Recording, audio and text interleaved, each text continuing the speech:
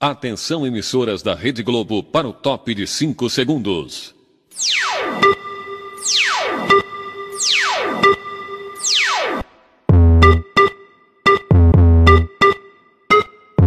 Atenção pessoal.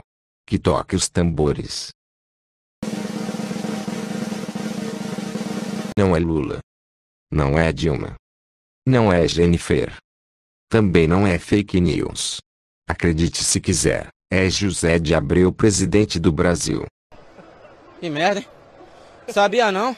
À noite desta sexta-feira, 8, sob gritos de nosso presidente, o ator José de Abreu, da Globo, foi recepcionado por dezenas de fãs no aeroporto do Galeão, no Rio de Janeiro.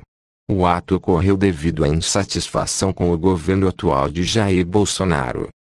Ele estava em viagem na Grécia, ao desembarcar, prometeu processar o presidente Bolsonaro. Para quem não lembra, Abreu se autoproclamou presidente no último dia 25 de fevereiro. Que merda, hein? Todo dia tem uma merda. Tire as crianças da sala porque as imagens são fortes.